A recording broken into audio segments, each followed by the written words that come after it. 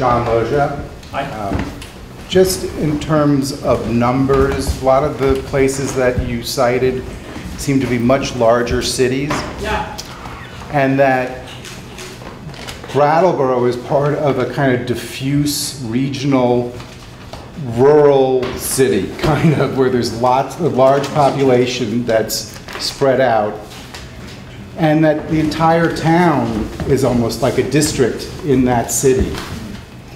So that we need to identify the whole town as a cultural district.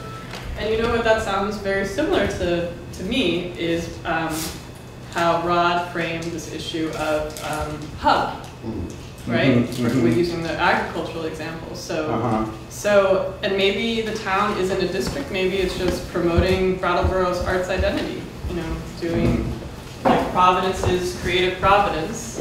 They have that whole moniker branding it. um, But they didn't just do a label, they paired that with cultural plan and strategies that they could then try to implement as opportunities came, came along. So Mhm.